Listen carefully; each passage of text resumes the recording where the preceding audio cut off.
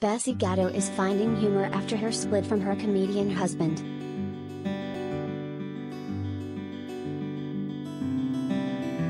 The estranged wife of Impractical Jokers star Joe Gatto posted a TikTok video of herself answering the question, What's that broken thing in your house that everyone just accepts and lives with?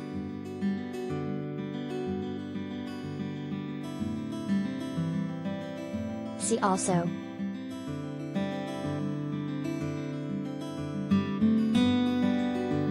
Joe Gatto announces split from wife and Impractical Jokers exit.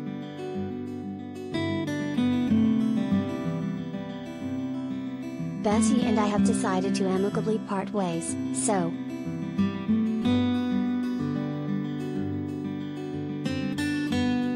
In response, Bessy smirked as she raised her hand and cuddled with her dog.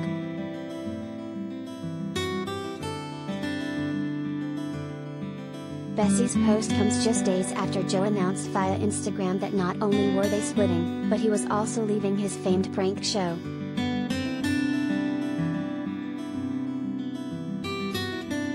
Alongside my friends, I've devoted a decade of my life to building this franchise and couldn't be prouder of what has been accomplished, Joe, 45, began.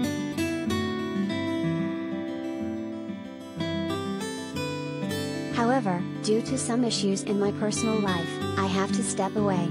Bessy and I have decided to amicably part ways, so now I need to focus on being the best father and co-parent to our two incredible kids.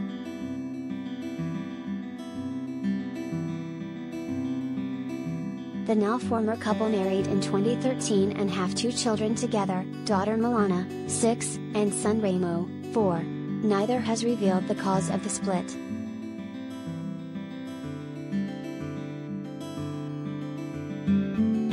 Bessy, 39, shared a similar statement to her own Instagram, writing, Hi everyone. With love and respect, we have decided to separate.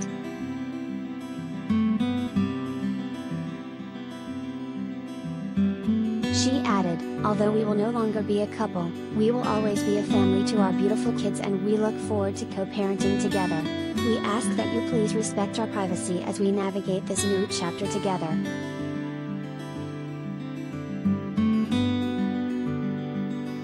Although Joe will no longer be part of Impractical Jokers, his three co-stars, Brian Quinn, Sal Vulcano, and James Murray, will continue the series without him, despite being saddened by his sudden departure.